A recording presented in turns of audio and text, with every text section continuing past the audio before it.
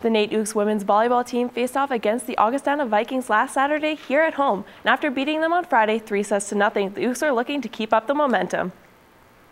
With NAIT in the yellow up 3 0, Jamie Bain serves it to Vikings Kiana Mall. The ball is set for Lauren Van Dyke, who hits it deep, but Victoria Johnstone is there to keep it alive. Milani Stang is able to put it over, and Rebecca Bates is unable to get there. Ooks are up 4 0 now. Vikings again, Jamie Bain again with the serve to Kiana Mall, who places it nicely and Bates spikes it over the net. Johnstone is able to set it up for Jocelyn Peters on the outside, who hits it over. Nicole Brockman then sends, sets it behind her to Ray Matrunik, who places it in center court, and the Vikings are on the board.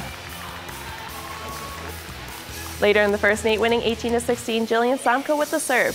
Jamie Bain sets it up to Alexis Anderson, who puts it over. Vikings scrambles, but are unable to save it.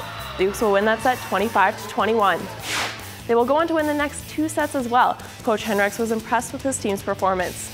Yeah, I was really happy with uh, our consistency. So we limited the errors, uh, by far our best uh, weekend of the year as far as unforced errors. So uh, something to build on for sure.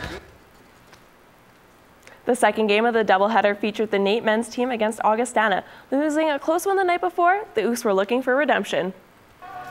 Ooks in the yellow, Vikings have an early lead of 4-2. Devin Klein serves it up. Gabriel McCart with a big touch here, and Ben Onishuk puts it down to make it a bit closer. Later on in the first, Ooks leads 17-11. Danny Martin with the serve, and Ben Onishuk is unable to handle it.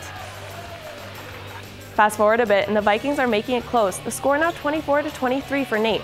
Reese Fingus with the serve, and Mitch Lewington gets the pass and sets it up for Spencer Fisher, who then hits it deep and gets the point. On to the third set, Ooks up by one. Patrick Mate with the serve. Mitch Lewington sets it up then for Devin Klein. However, with a big block here by Lyndon Varga, the Vikings tie it up, but they won't be able to score again after that. The Ooks take that set 26 to 24. Ooks libero Isaiah Stein had a 100% kill percentage on the night and says his team was able to focus and bounce back from their close loss the night before. Close loss yesterday. We kind of just tried to uh, battle back and stay focused on what we need to deal with tonight. And I feel like we just uh, dug in, um, had what we needed to do in mind, and uh, did that well. With an Eskimo loss last week, there will not be a Battle of Alberta Grey Cup this year. Instead, the Ottawa Redblacks and Calgary Stampeders will face off at the BMO Field in Toronto tomorrow. Ottawa could be facing an uphill battle in this matchup. They did not beat Calgary once in the regular season game all year. We asked our Twitter followers what they thought, and 62% think that Calgary will be the winner tomorrow. If you were watching the MLS playoffs on Tuesday, you might have recognized one of the players. Tosaint Ricketts was born and raised in Edmonton and is now playing forward for the Toronto FC. Officially signed in July, Tosaint has scored four goals since for the Toronto FC.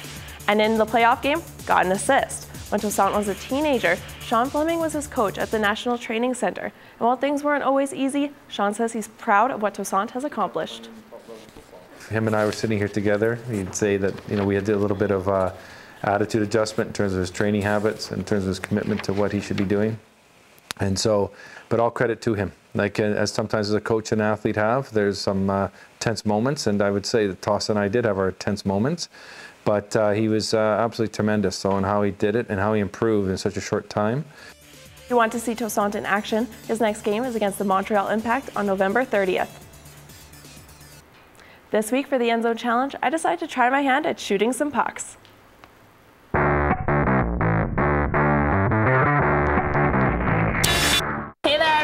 Chase Elson from the NAIT men's hockey team, and he's going to teach me how to shoot a hockey puck today. So what's first? Wrist shot, okay. Okay. I'll line you up. So in a wrist shot, I learned this when I was maybe four years old, but it's always heel to toe.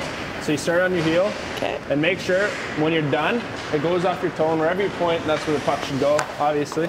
But uh, so it's just like that, heel to toe. You should be able to get it off the ice like that. You can try yourself. That's actually not bad. You lean into it.